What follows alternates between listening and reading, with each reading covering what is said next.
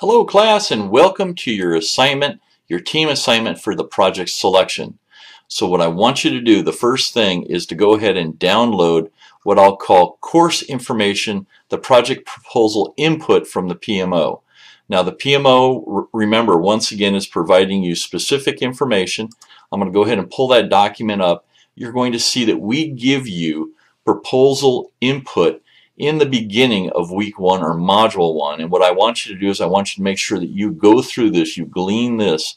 We've given you kind of a, a rough structure for how the team is going to be structured. Five to six people working for Dr. Dale Deardorff. I am the PMO contact for you. We lay out the kind of the the expectations that you'll be getting from us. Now, this also gives you the list of a project budget. We start you with a project budget of $250,000. So your team will have $250,000 to start with, broken down into these buckets. So you will have $12,000 to start the project.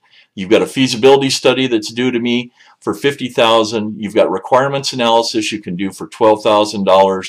You've got requirement specifications 18,000. You can procure materials for 22,000. You have to assemble um, for 46,000, test for 58,000. You have to do some level of demonstration or ATP to be able to accept the project. Um, that's 10,000. And then in addition to that, you've got a project reserve. So we're giving you what we call a project reserve of $8,000. Now, percentage-wise, we feel that that should cover what you're going to encompass in this project you're going to work on. We've given you, realistically, a template to start with. So there's a project template, a Microsoft PowerPoint template that's already laid out for you that lays out a basic WBS structure in addition to the money associated with it or the budget and those those information uh, type of text boxes for you. So we've given you that separation. We've given you assumptions for how much we think it would cost per person, whether it's an engineer, a tech writer, a contract consultant.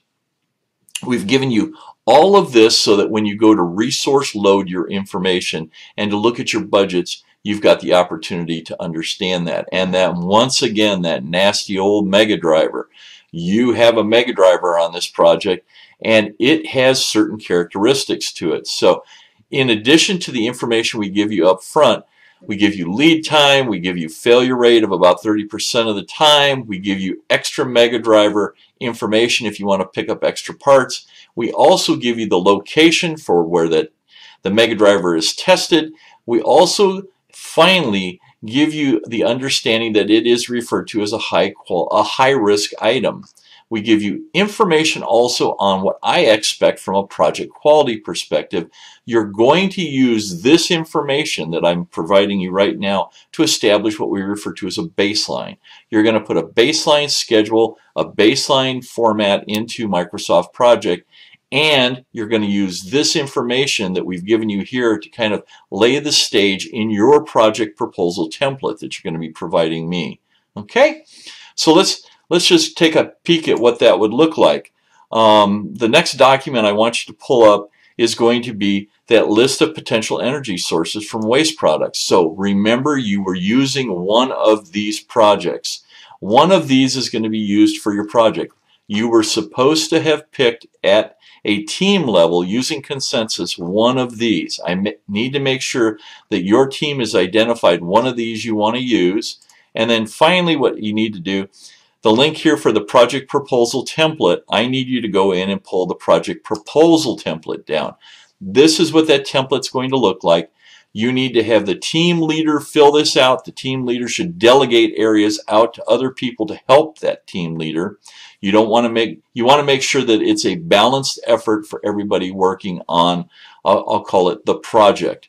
So there's an assignment start date. Give me the date that you think this is going to start. Your project's going to start on a certain day and end on another day. You, will remember in the lecture, uh, the lesson plan, and in the readings, one of the unique characteristics about a project, what makes a project a project is it has a unique start date and end date. And you have to have a proposed start date and end date or else I can't approve your project proposal. You also need to give me a cost bogey. How much you think it's going to cost. we've laid out for you an expectation of $250,000. You need to tell me, is that real or do you think you need more money or less money?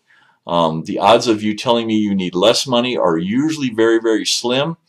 Um, but, you know, that opportunity is available to you there. So you need to fill out this bare bones information on the team, including who the team members' names are. Then the next piece is going to be once you've made that selection on the type of energy project that you want to work on, which of these project types do you feel it falls into? You need to characterize your project with one of these, and then I need you to take that project proposal that we submitted you and describe the problem that you're solving with the project.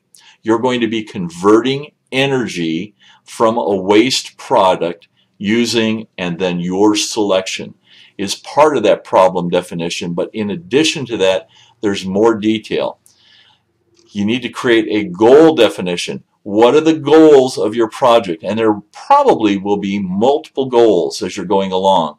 Because as you remember, we gave you a variety of different things that needed to be accomplished, whether those were analysis studies that need to be completed, or testing, or delivery, ATP, things like that. So what are the goals that address your mission? Goals that address what we refer to as self-sustainment. Will this project you know, expect to give you what you're trying to get. Finally, the next piece is going to be the project objective definitions. From a performance standpoint, how do you measure performance? What, from your perspective, measures performance by seeing completion of what? What would that look like? You have to articulate that and what will this project su successfully be able to be to complete so that I can buy it off um, your customers or your stakeholders are going to come in and they're going to say, yes, I agree that this is what the end item looks like. You have to give me what you think that is. Total, we, we need you to lay out what we think the total cost of the project is and potentially a benefit that you could achieve. So if you're using this to recycle, there's got to be some sort of positive benefit associated with it. You have to come up with a WAG or some sort of predetermination as to what your target is. How much money do you think you can make or how much you know, green energy can you create? And then a schedule. Make sure you understand that a project has a schedule, a start date and a finish date that have to be in place as a target before I can give you the thumbs up and say to go forward with this project. So this is the project template. I want to make sure that you get the project template completed.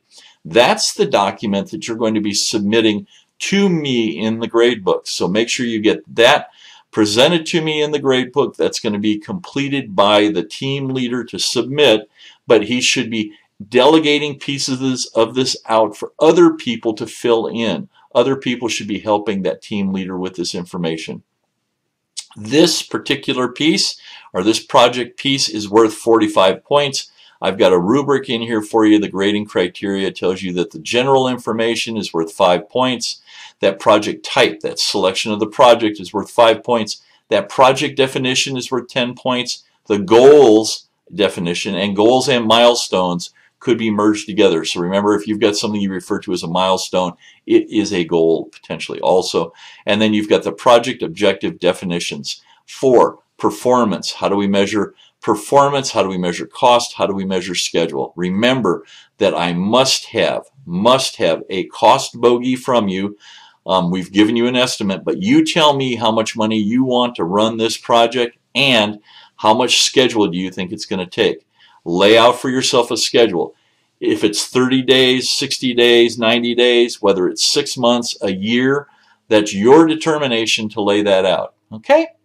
Have a great week. Once again, this is going to be the information necessary for your project selection. Once you're done with this, you're going to find that week one is going to roll into week two very easily. But without this information, you're going to struggle. So the sooner you can get this completed, the easier it is for your team to move forward in a positive direction. So have a great week. Welcome to working for ECS. Welcome to week one or module one. And let's move forward and have some fun on your energy creation projects. Have a great one. Bye-bye.